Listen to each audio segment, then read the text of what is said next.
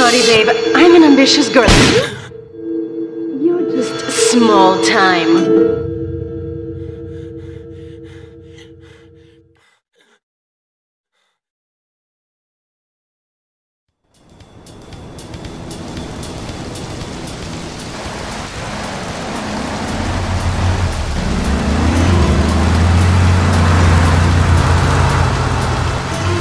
Liberty City is in shock today as the police and emergency services deal with the aftermath of a devastating attack on a police convoy this morning.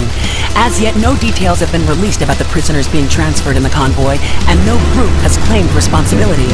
The convoy left police headquarters early this morning for a routine transfer of felons to Liberty Penitentiary.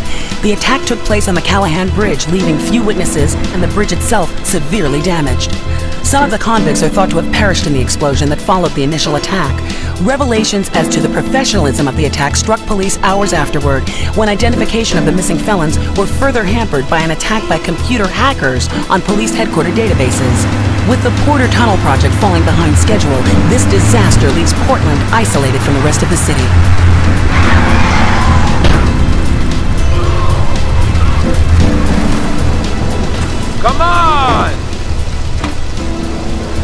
you're a dickhead. It's no problem to kill you. You're gonna be sorry.